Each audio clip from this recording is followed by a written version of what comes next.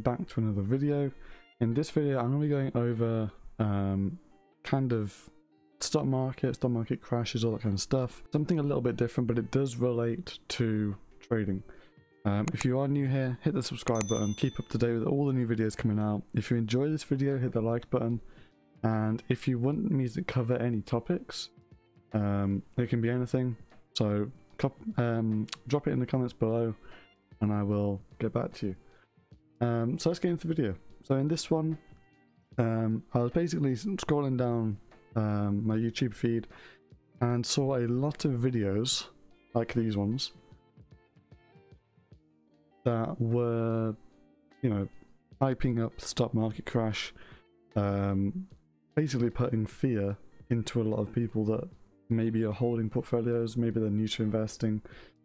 Um, and I, I just wanted to make a video just to base, basically counteract that and just say um, if you're having a portfolio, a long-term portfolio of stocks, ETFs, bonds, whatever it is, you need to have that for a long time, right? It's not a short-term portfolio, it's a long-term. Um, if you have stocks and you're planning on holding them for many, many years, don't be put off by these videos that come out, right? They're only putting these videos out to get views, and they're only putting these videos out um, because it helps their channel, right? So, if you have a portfolio of stocks, whatever it is, hold on to it, right? This isn't financial advice, but it's just common sense, right?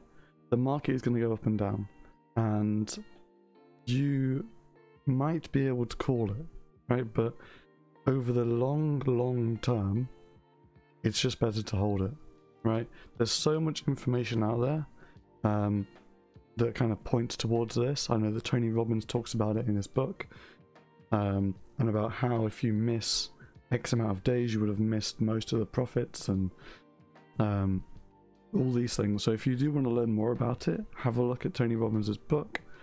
Um, it's it's a good book. It's a really really good book and it goes over everything investing. Um, so yeah, if if you do want to check that out, then you can.